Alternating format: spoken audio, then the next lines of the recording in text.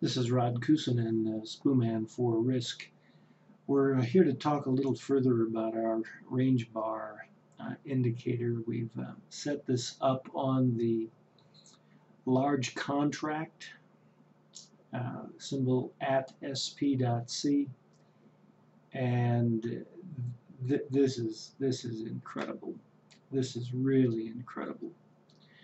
Pick any pick any day at any time and you can see range bar opportunities for trading. And if you haven't looked at if you're not sure what we're talking about when we refer to range bars go back to some of the previous videos.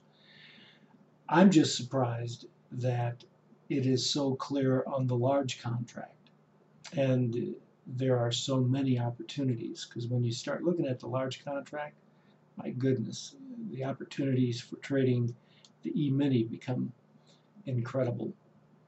Now I've just at random grabbed a period from back in December. We'll just go all the way back here to the beginning of the chart. And uh, the, the point of the matter is you're, you're going to want to look for a range bar that is in some respect intersected by a subsequent bar. All right, we won't get into the specifics. We just want an intersection. And you can see pretty well how frequently this works. Now, here we've got a range bar that was not intersected within the same day. Several more were. So we're going to just hold that bar. I'm going to turn the color to, let's just say yellow, as a unfulfilled uh, range bar. But by and large, the, the bulk of these bars are going to be filled. Okay? And you can see how that was filled on the subsequent date. Big move. Big move all of these down bars all the way back to here you can see those were filled back down here this one was filled then we've got these bars up here this one's filled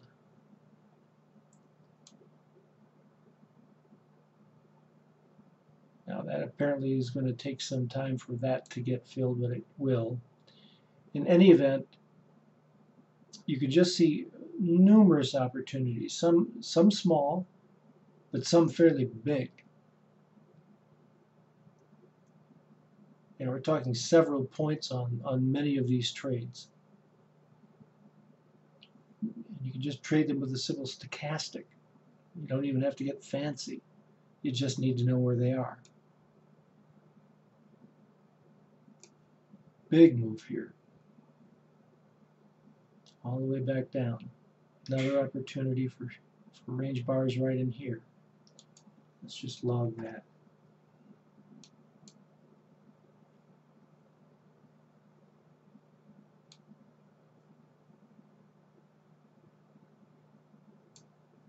See, all of these end up getting intersected.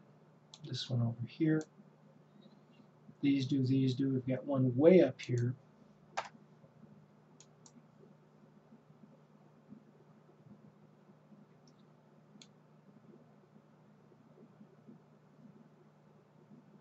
all these get intersected.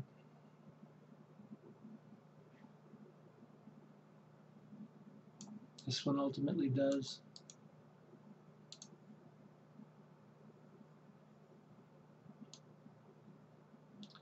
And when we have a gap up like this, then all of these are ultimately intersected because of the uh, movement in the overnight market. And we're, ju we're just plotting the day market, incidentally. So where's our, okay, that's as far as we went here. Let's just, let's grab another day. Okay, you'll, you'll just watch this, how this works at random. Okay, I'll grab, let's go to February, let's just go to the 10th. So we'll go four weeks back from there. Let's go all the way back. You see how each one of these gets intersected? No, wait, I'm sorry, I'm not at the, I'm at the end. Let's go back here.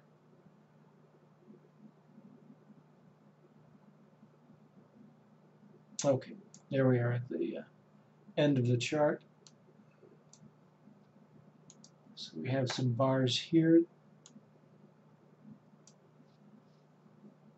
So we'd have to drop to this bar here for all of this to get intersected. And where's our slide bar? Here it is. So we had a big move up. All right, so that could have easily gotten stopped out on.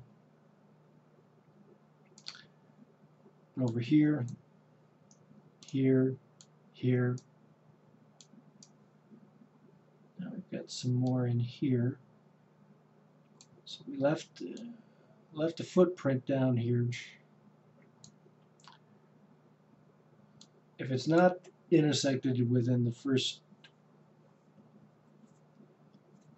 probably one or two days, I would I would ignore it. But let's just let's just plot them anyway. Bar there. So this is a big run up, left a few footprints unfulfilled.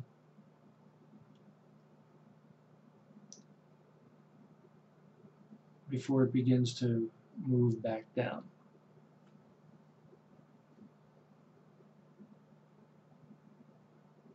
Okay, so this gap down satisfied all of this. Same with there. We've got a few unfulfilled, but not that many. Okay. All of these get filled. Now we've got another bar way up here. Just put a line there. Big move down. So that bar way down here ultimately gets filled. You can see where these are getting filled.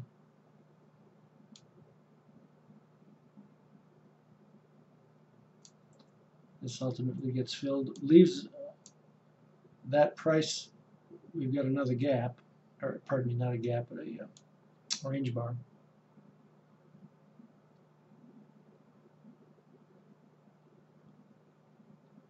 Plenty of opportunity for trading. Wow. And there's that high.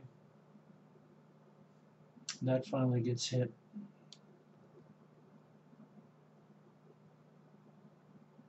All of these get hit. No bars that particular day. And then here, see all of that. And then we're to the end of our chart. So the point of the matter is you can place the indicator on the large contract, have a target in mind as a result, and do very, very well. Just throw simple stochastic on it. You really don't need much more. Now, of course, we can get real, real specific, but uh, the point is you've got a target with a high probability of being hit, and with that kind of a probability, utilizing uh, a good system to maximize these targets can make a ton of money. My goodness, it's really, really interesting. Now we don't market the range bar indicator as a separate indicator. It's in our package. It's available on our website. If you'd like a demo, please give us a call. We'd be happy to show you more. We do many things above and beyond just this to help our traders succeed. And we'll be happy to go into the details on that uh, at your convenience. So give us a call. This is Rod Kuusinen, Spooman, for Risk.